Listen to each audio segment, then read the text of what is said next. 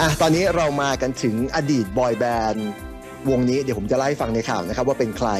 คืออย่างที่เราทราบมาก่อนที่เขาเนี่ยจะเข้าประจำการนะครับเป็นทหารเนี่ยเขามีคดีในเรื่องของอคดีเมาแล้วขับนะฮะ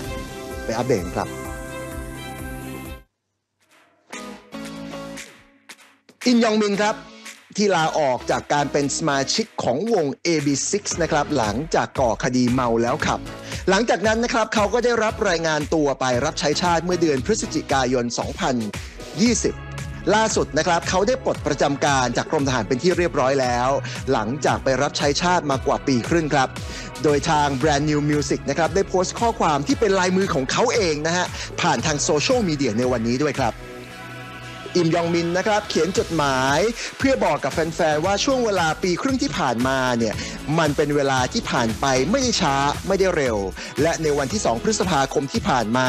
อิมยองมินเองก็ได้ปลดประจำการจากกรมทหารแล้ว โดยไอดอลหนุ่มนะครับได้ขอบคุณทุกคนที่เฝ้ารอคอยการกลับมาของเขา ซึ่งเป็นกำลังใจนะครับให้กับเขาในการรับใช้ชาติได้อย่างดีเลยทีเดียว ในระหว่างที่อยู่ค่ายทหารนะครับเขาก็ได้พบกับรุ่นพี่เพื่อนๆ รุ่นน้อง รวมไปถึงผู้บังคับบัญชาที่ดีมากๆ ส่งผลให้ช่วงเวลาในค่ายทหารเนี่ยถือว่าเป็นช่วงเวลาที่มีคุณค่ากับเขาเป็นอย่างมากครับ อิมยองมินเองนะครับเผยว่าเขาได้ใช้เวลาในระหว่างการรับใช้ชาติ เพื่อทบทวนตัวเขาเองเกี่ยวกับความผิดที่ได้เคยทำลงไป โดยอดีตสมาชิกหนุ่มนะครับแห่ง AB6 เองก็ยอมรับนะครับว่าตัวเขาในอดีตเนี่ยเป็นคนที่มีความบกพร่องมากมาย และการทำผิดก็ได้สร้างบาดแผลในใจของเขาเองรวมถึงคนใกล้ชิดของเขาด้วย อิมยองมินนะครับ ได้ถือโอกาสนี้ขอโทษแฟน ๆ ทุกคนที่ทำให้ทุกคนรู้สึกแย่จากการกระจากการกระทำของเขาในอดีตอย่างใจจริง อย่างจริงใจนะครับ พร้อมกับขอบคุณทุกคนที่เฝ้ารอเขา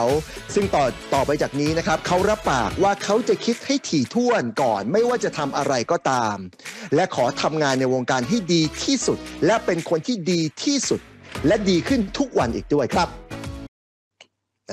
นะครับก็เป็นกำลังใจให้นะครับจริง ๆ แล้วถ้าเรามองเนี่ยถ้าเกิดเขาสามารถจะกลับตัวได้จริง กลับใจได้จริงนะครับคดีเมาแล้วขับก็ไม่ได้ถือว่าเป็นคดีที่